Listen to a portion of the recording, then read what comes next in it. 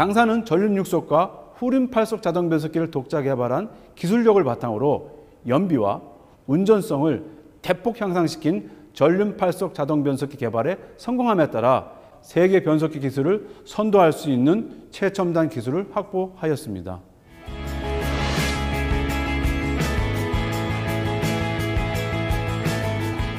당사가 개발한 전륜 8속 자동 변속기의 핵심 기술은 기존 6속 대비 유성 기어를 3개를 그대로 유지하면서 클러치 1개만을 추가하여 8속을 구현하고 그럼에도 6속 대비 경량화하면서 효율을 획기적으로 향상시킨 레이아웃 설계 기술입니다. 일반적으로 변속기 단수를 늘리기 위해서는 부품 수가 증가되어야 하고 이 경우 중량이 늘어나며 효율이 떨어지는 문제가 발생합니다. 또한 전륜구동 차량의 경우 한정된 엔진룸이라는 공간 안에 탑재하기 위해 컴팩트한 설계가 반드시 필요합니다. 이를 극복하기 위해서는 고도의 레이아웃 기술이 뒤따라야만 합니다. 당사는 독자 기술을 바탕으로 기존 6속 대비 3.5kg을 경량화하고 동급 세계 최고 수준의 효율을 달성하였으며 이와 관련하여 143건의 특허를 출원하였습니다.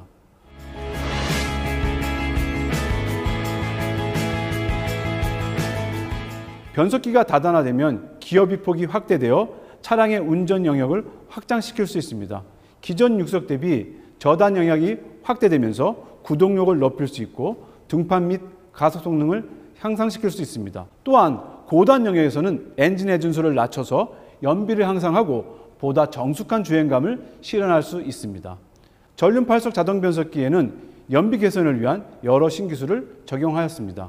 먼저 변속 시 작동하는 클러치의 유압을 공급하는 valve body와 오일 펌프의 연비 향상 신 기술을 적용하였습니다.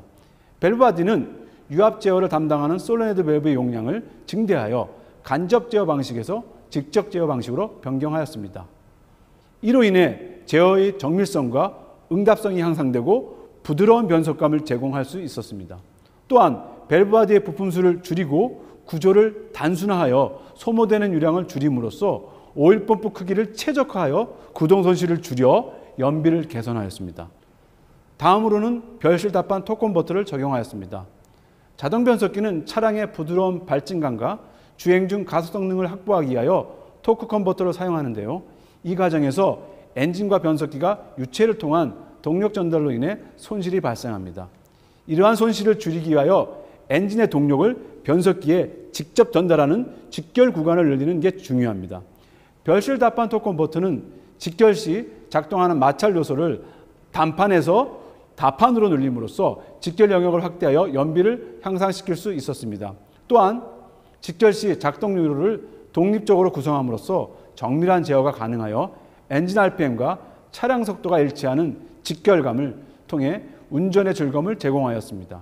이 외에도 효율을 극대화하기 위하여 다양한 마찰 손실 저감 기술이 적용되었습니다. 클러치와 같은 마찰 요소의 손실을 최소화하기 위하여 마찰재의 오일홈 형상을 최적화하였습니다.